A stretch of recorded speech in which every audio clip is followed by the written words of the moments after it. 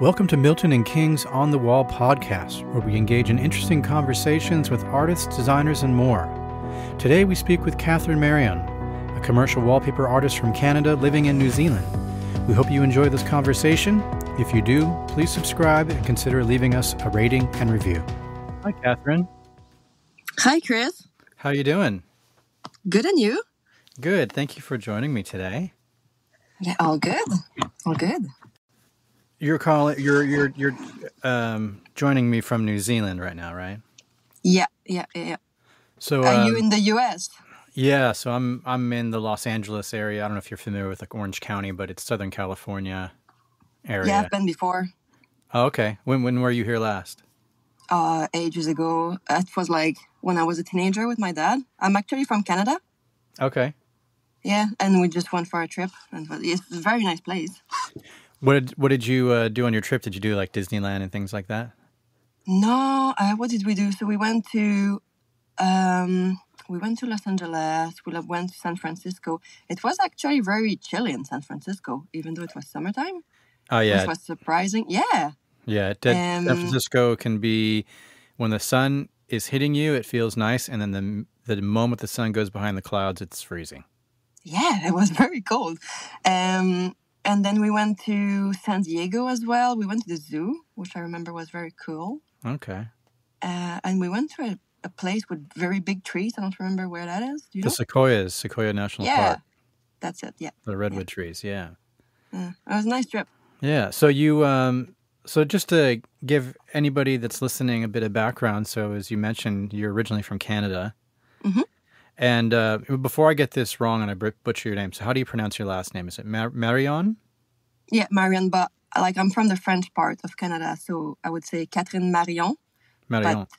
Yeah, but if I speak in English, I'll say Catherine Marion. So oh, okay. Gotcha. So you were from the French part of Canada, like from Montreal, from yeah, that's it. oh, you're from Montreal. But I'm from the South Shore, so like, I mean, I just take the bridge and I'm in Montreal, but it's like the Montreal region. Uh huh. Yeah, It's so you were b- born and raised there. hmm Yep. Okay, and that's that's entirely is it entirely French speaking?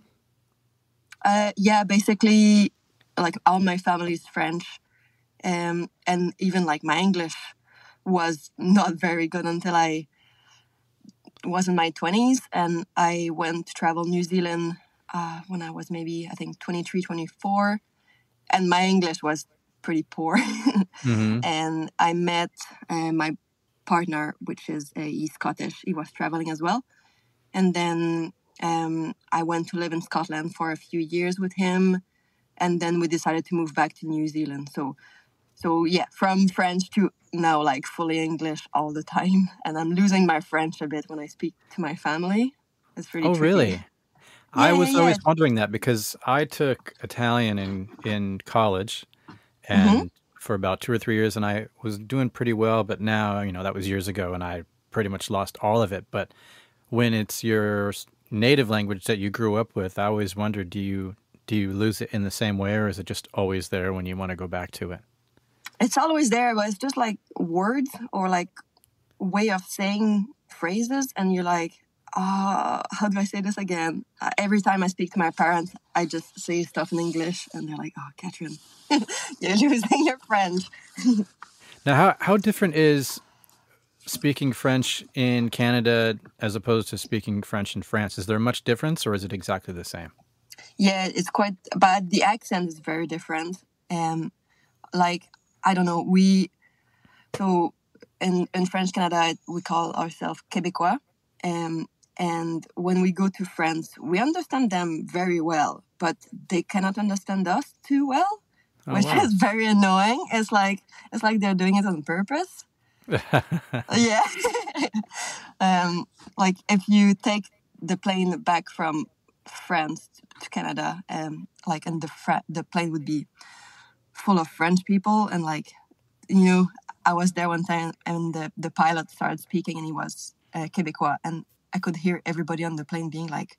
What is he saying? what is he saying? Is he even speaking French? So, yeah. So it's it's very different, but That's interesting. So that, that that was a good test because then nobody was really putting it on. They probably were just genuinely wondering why the language Yeah, sounds just slightly different. yeah they were not even speaking with the person they just couldn't really understand what he was saying um, but yeah there's also a lot of words that are kind of different. Like i when i was at uni i i went to france for like a semester uh, to school there. Mhm. and and yeah i was using a bunch of like turn of phrases or uh, words that they didn't use. And also yeah they were taking the piss a bit but it's all good. Just in a, friend, in a friendly way.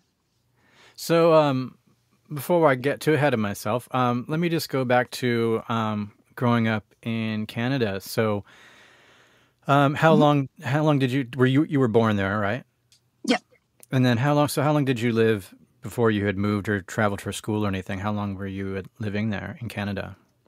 uh, so probably 20 year 20 21 22 years Okay. yeah i went i went to school uh, in france when i was i think 22 and Okay. then went went traveling new zealand when i was 23 yeah so basically that's it yeah Okay. And so what was uh what was it like growing up in uh in the Montreal area in Canada and did you um did you go to did you get have any specific sort of um art training or art school or anything there while you were growing up?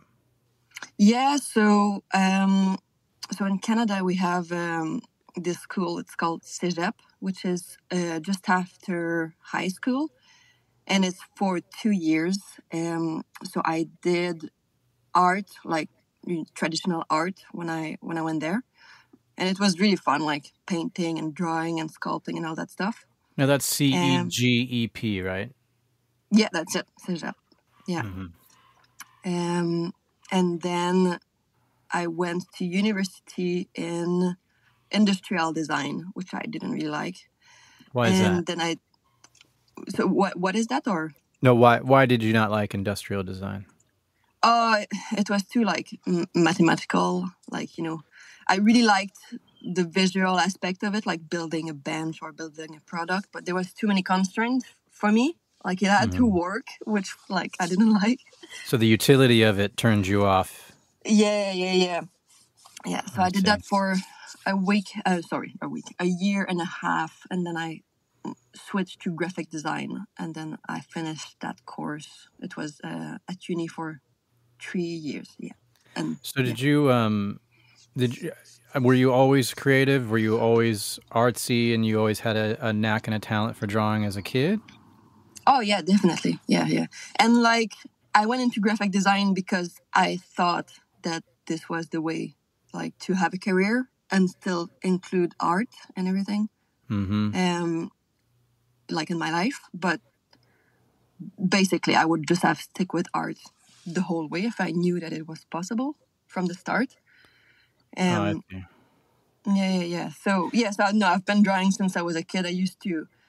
Um, so I was really into Pokemon when I was like maybe I don't know I don't know when it came out maybe 10, 10 years old, and I would Pokemon. just like yeah Pokemon yeah, Wow, funny.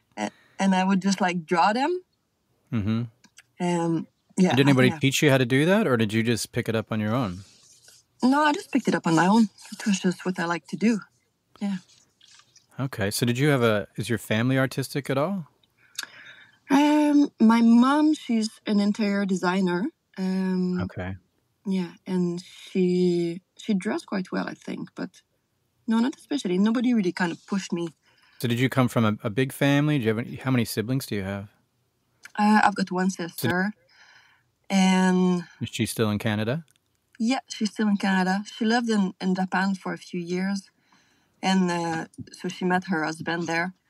And when we moved to New Zealand, they were like, "Oh, it's cool. You're not too far." So they came to visit us. But now they're back in Canada. So Okay, younger sister or older sister? uh, she's younger. She's she's turning thirty this year. When did you discover that you had a knack for it, or did you just did you did your parents tell you like, oh, you're doing such a good job, or were you just sort of impressed with yourself? Like, how did you know? Oh, this is something that I can do that not everybody else can do, and maybe I should do something more with this.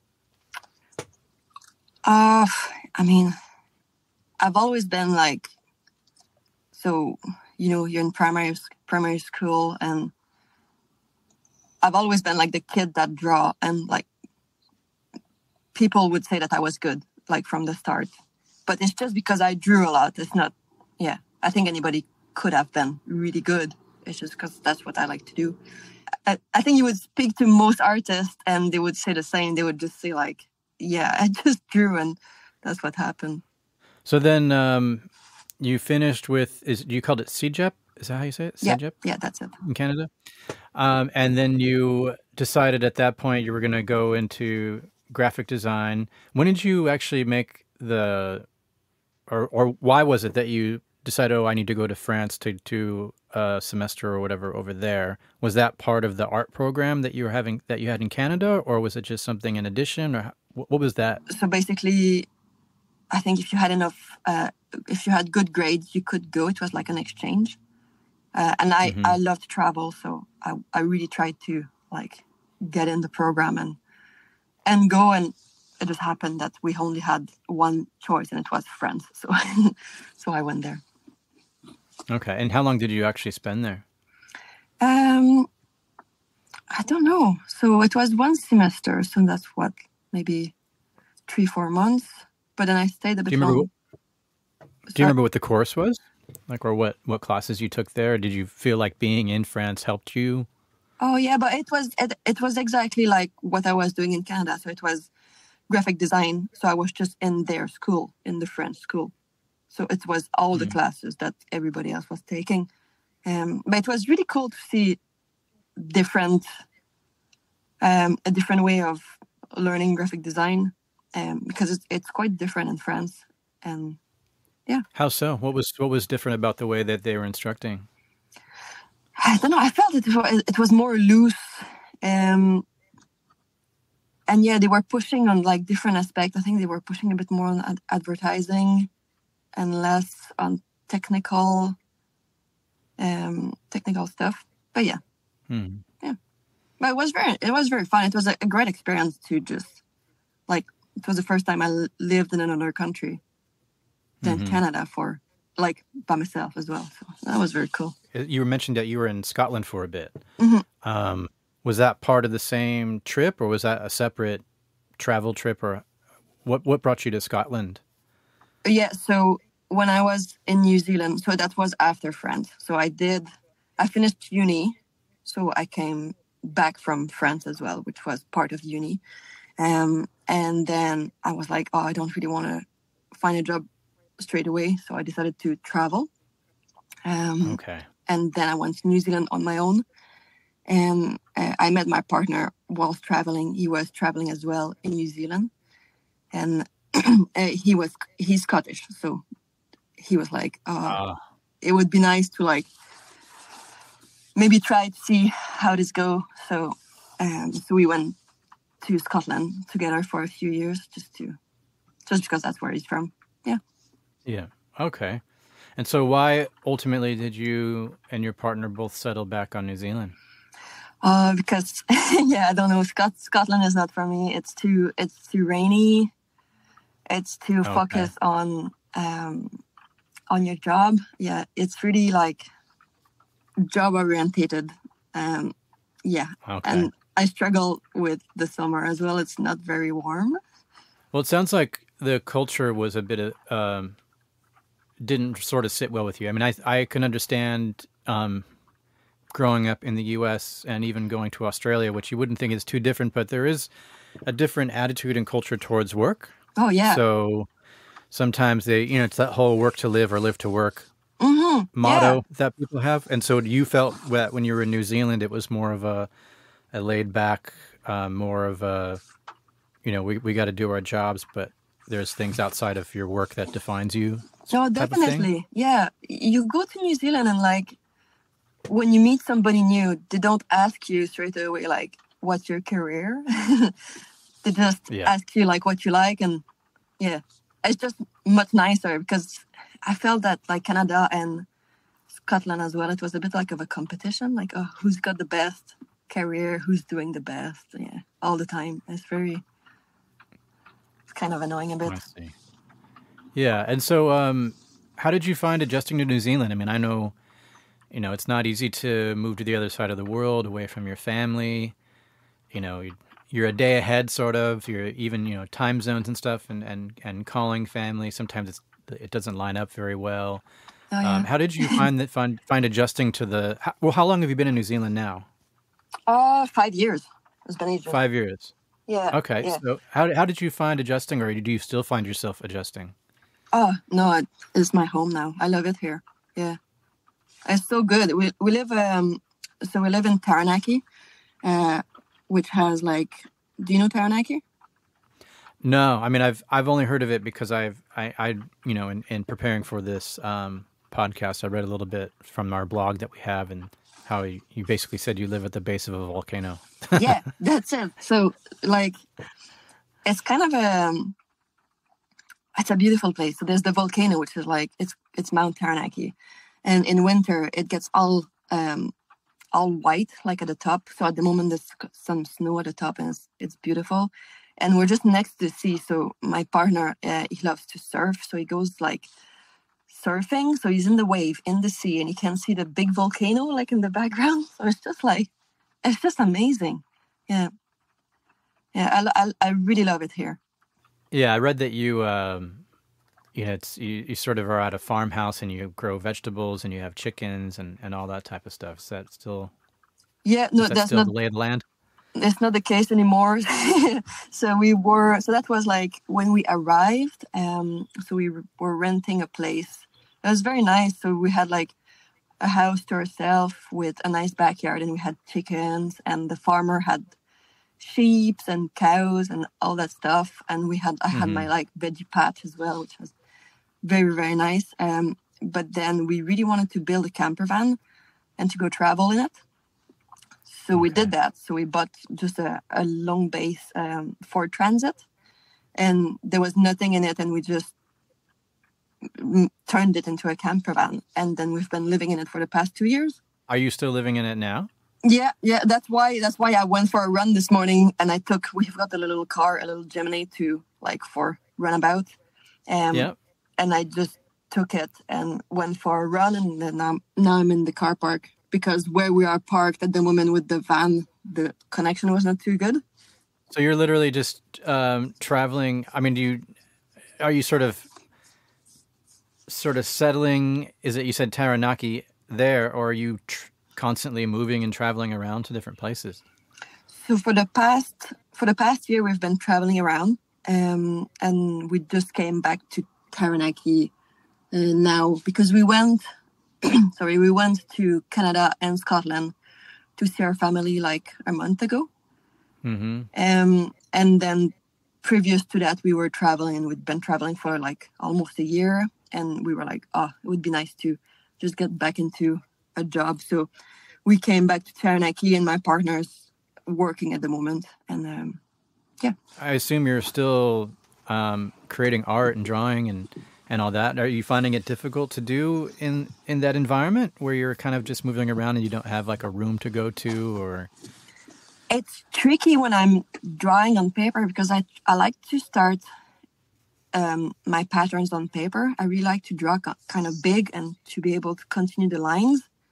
Um, mm-hmm. And yeah, it's quite tricky in the van because you cannot really do that too much. So I'm like in the on the countertop in the kitchen area. So yeah, it's a bit cramped. But if I'm on my iPad, that doesn't really matter too much. I suppose every artist is different. Um, and I noticed, you know, a lot of people are drawing and, and on drawing on paper or different types of um, canvases. But mm-hmm. I noticed in a lot of your photos and stuff, you're doing a lot of it. I guess it's on an iPad or some sort of tablet. Um, yeah. So you you're saying that you oh you always start with the actual physical drawing first, and then what do you do? You just copy it over to the iPad, or how does how does your process work? Uh, yes, that's it. So I, I start on on paper, and um, I take a picture normally of what I'm working on, um, so, and I don't always do the whole pattern on paper. I'll draw like one section, take a picture, draw it on the iPad, and then I will um, draw more bits on paper and then just kind of add to the whole artwork bit by bit. Do you know what I mean? Mm-hmm. That makes sense. Yeah. Okay. So so um, was the whole drawing on the iPad was that something that you learned at university with the graphic design education? No. Um, so at university, I I learned a lot about like Photoshop and Illustrator, but there was no iPad drawing mm-hmm. too much back then. Um, yeah. So I think maybe two or three years ago, I finally got an iPad that I was really wanting to. Like I, I, I would see people draw on on an iPad on on Instagram and everything, and I was like, oh, that would be so good. yeah, so so I got one, and so yeah, I'm using it. So, what, do you ever now. start with the iPad, or you still always start drawing, or have you ever created a piece just starting on the iPad? Yeah, I don't know. I imagine some people must start on the iPad, but I find it really hard because I've always started on paper. So I, I think it depends. I think if you if you if you're like an artist and you start to learn and to develop your skill on on the iPad straight away, it's easier for you. But I find it so hard.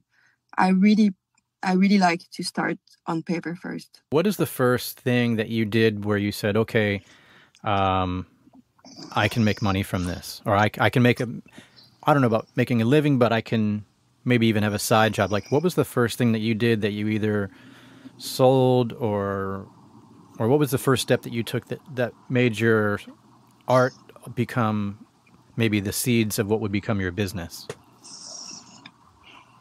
Yeah. Um, so basically, I used to be a graphic designer when I was in Scotland. um, I so I worked in a studio and I I didn't like it. It was mm-hmm. not my cup of tea. was it just the structure of the job, um, or what? What didn't you like? Yeah, I mean, like now I can just draw what I want, and like there's a lot of people that get in touch and they are like asking me, "Oh, can you draw this for me?" And I'm like, "No, I just want to draw what I want to draw, and if you like it, you can you can buy it." Um, but being a graphic designer, you're like always under, like you've got a thousand boss. Like everybody is your boss. Every client tells you how to do stuff, and uh, I, I just it it wasn't for me. So I don't think I could have done that much longer. So I kind of had no choice to turn to art and really mm-hmm. try to make it work.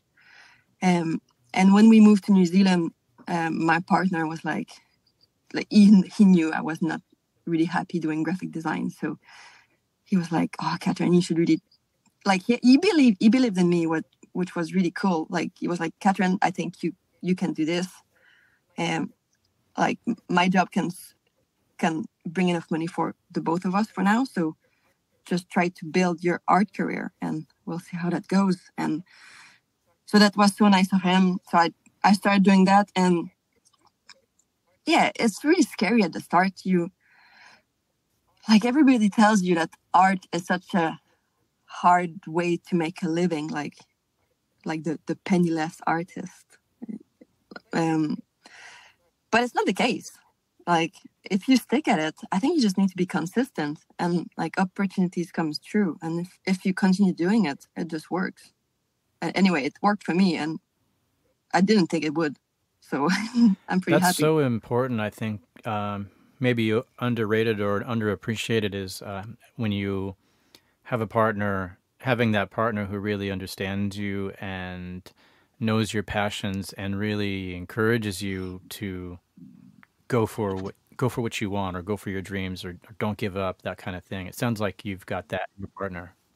Yeah, definitely. And like back then, back when he was telling me that I should go for it. Like m- my style, I didn't have a style. First of all, it wasn't. I didn't. So I had to find that for myself.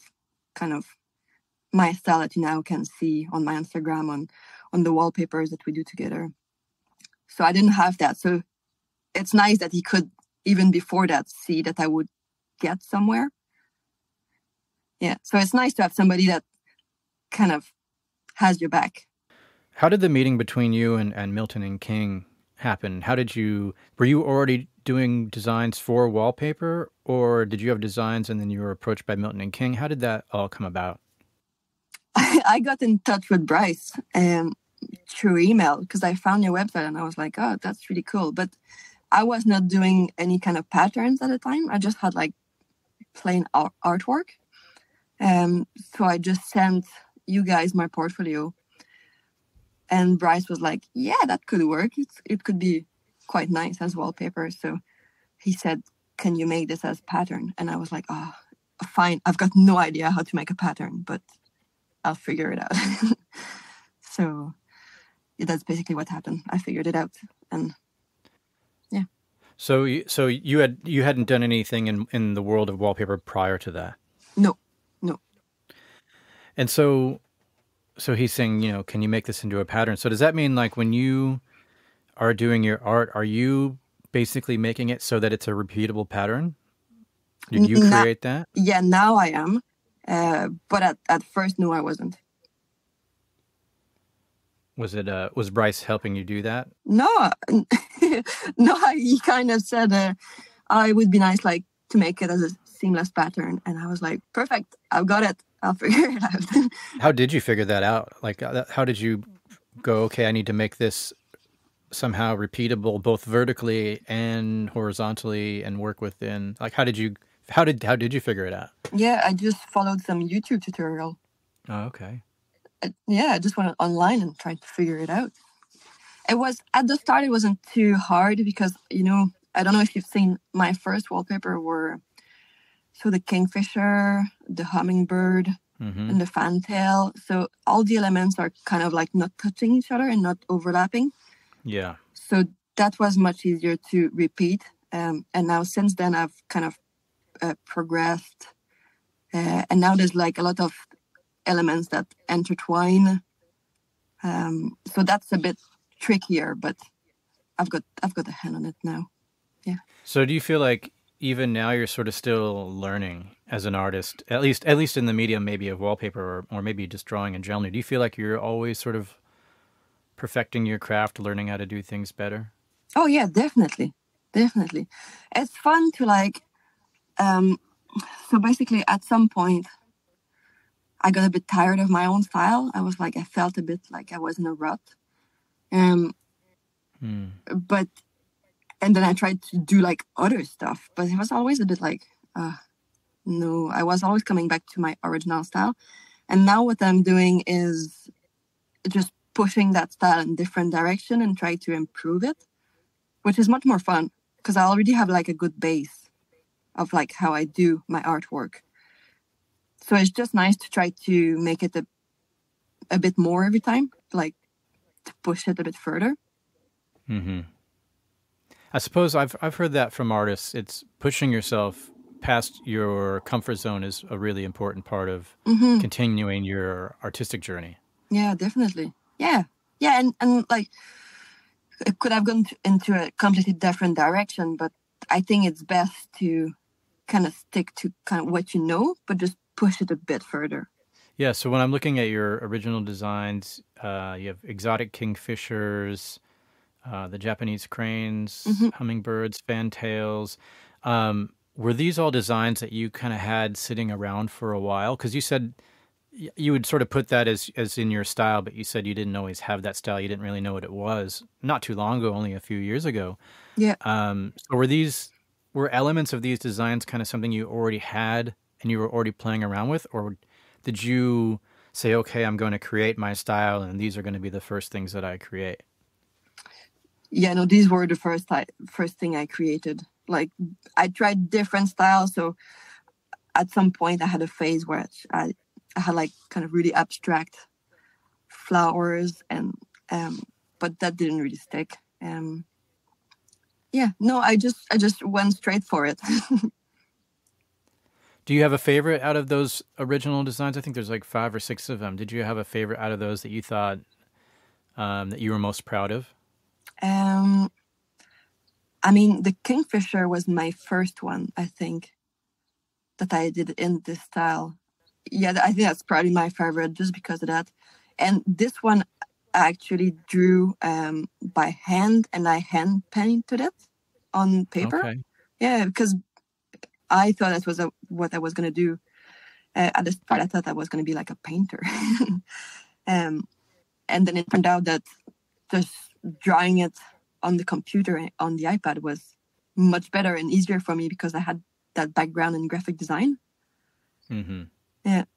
You might be repeating yourself. I'm not sure, but how did you? How do you get from the draw, the hand painted drawing to the one in the iPad? Are you scanning anything? Are you just kind of copying it side by side, or how do you oh, get I take it from? a picture. I take a picture and then I just draw over the top of it. Ah, okay. And do, how do yeah. you take that picture just with your iPad? Yeah. I mean, you could scan okay. it; it would be the same result. But I don't have a scanner. Okay. Yeah. So you take a picture with your iPad of that drawing, and then you start adding digitally over the top of that. Yeah, that's it. I just redraw. So I've got like the Apple Pencil, which allows mm-hmm. you to draw on the iPad. So I just redraw the lines like over the top of my sketch. And then, so after those initial designs, I think you had three more that have come out now. You've had the turtle doves. I don't think mm-hmm. that was part of the original batch. No. Um, the figs and strawberries. Mm-hmm. And then you had one that just launched. Is it? I don't know how to pronounce that. Is it Hu Huia? Oh yeah, yeah. That's it. It's a, a New Zealand bird, um, and it's extinct. Yeah. It's it's it's extinct. Yeah, it is. So how did you decide to do that, or where did you find the inspiration to do that? Did you see it in, in I mean, museum or? Yeah, it's at the museum. It's like a very well-known bird because it's like so kind of aesthetic. It's very good looking, and mm-hmm. um, I've always wanted to draw this one, and but there's not too many pictures of it, so it's it's quite hard to find a good reference. But I found one online, and I was like, oh, perfect. I'll I'll do it's, it's time. I'll do it now. Um, but I was gonna say, you know, you can see the difference between the first lot of artwork and the one I'm doing now. They're much more kind of connected. All the elements like overlap and mm-hmm. intertwines. So yeah, so there's definitely a progression uh, with my work, which I'm really happy to see every year. When you did the exotic kingfishers one as your first one, mm-hmm. what, did you have sort of like a, a moment where you were like, "Oh my gosh, this is the style. This is it." Yeah. How did you know when you were? How did you know when you were done that this was gonna? Because you said it's the first one out of that whole group, and you yeah. were kind of searching for your style. Yeah, yeah, yeah. I mean, I drew it, and I was like, "That looks good," but I was not set on that style yet. I did a few more in that style, and I had like a little collection, and I was like, okay, yeah, this is working. Let let's stick to that. That's a good idea. Mm. so when you're doing these, how much um, do you do much research or anything like that? Or are you literally just kind of sitting out in nature and you see something and you take a picture, or or or, or are you are you diving into Google and doing research on the birds or the florals, or how, what's your process for creating? Yeah, but it's a bit of both. So I'll be because we've traveled quite a lot the past year, uh, and there's different different flora around um, New Zealand, uh, and there's different birds as well. So like you go to a different region and you'll have birds that you don't have, like in Taranaki. Um, so that was really cool. I would just like take notes or take pictures of flowers or birds that I wanted to include into new artwork. Um, so that's more like kind of how to how I decide which bird or which flowers i am to put in. Um, but like basically when I was traveling um, in Scotland and in Canada, we would go to museum and like old castle and all that stuff, and I would just take pictures of things I really liked.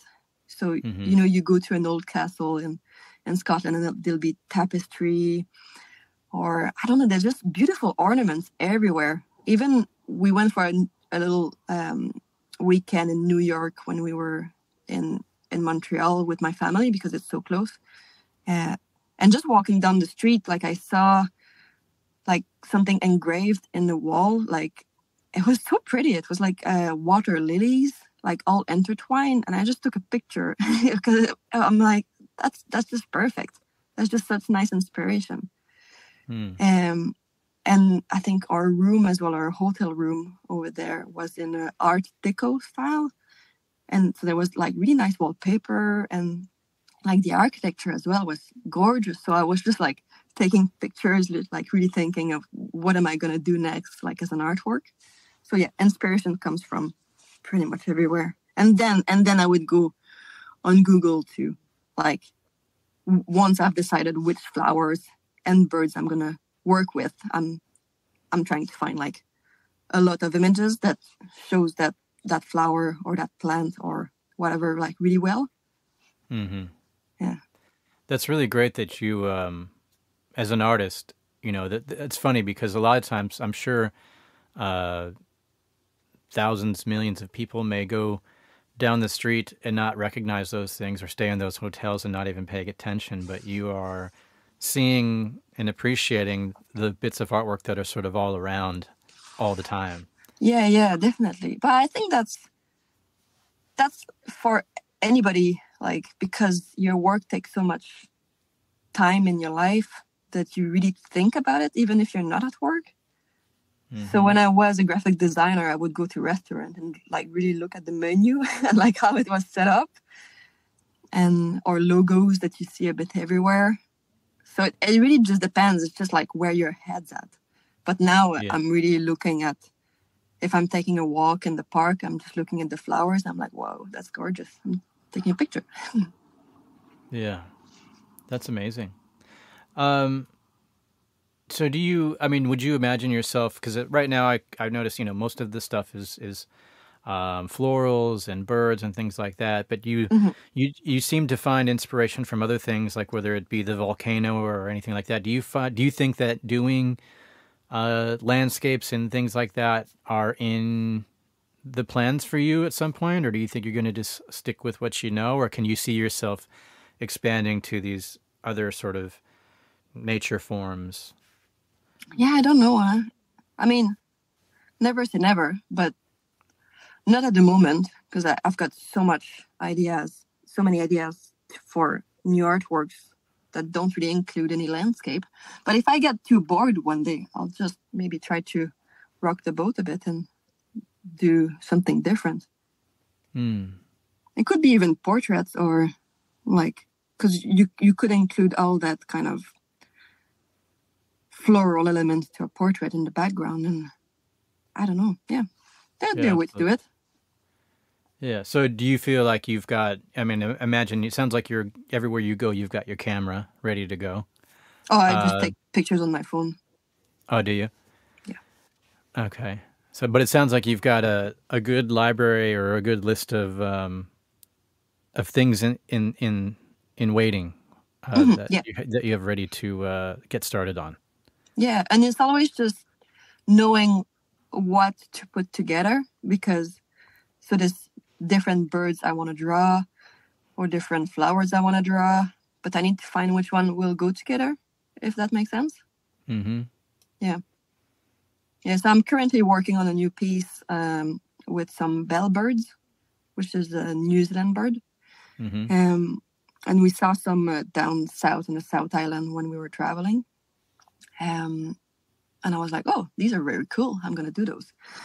So now it's the time. Um, and then I, have been wanting to draw um, iris iris flowers for mm-hmm. a long time. So, and I thought they would look quite cool because sometimes they're they're kind of purplish, and there's a bit of purple on the bird as well. And I was like, that could work. That could work. Now, do you see yourself when you're um, when you're let's say gonna draw a new piece? Are you sort of doing it always with wallpaper in mind now, or are you doing it with um, idea of just selling the prints, or what, what what's sort of your when you're doing these drawings? Like, where do you see them being, or do you are you always looking at them at them as being wallpapers or something else?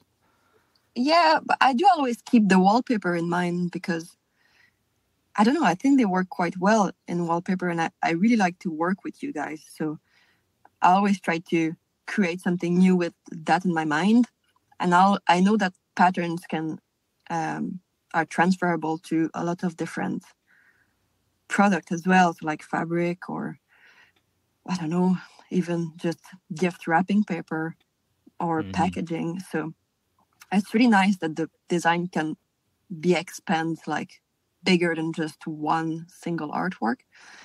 So I do it now straight away as a pattern, but I also sell prints on in on my Etsy shop, and um, it's just like section of the patterns. So it doesn't really matter. They can also be used only as an artwork. hmm Yeah.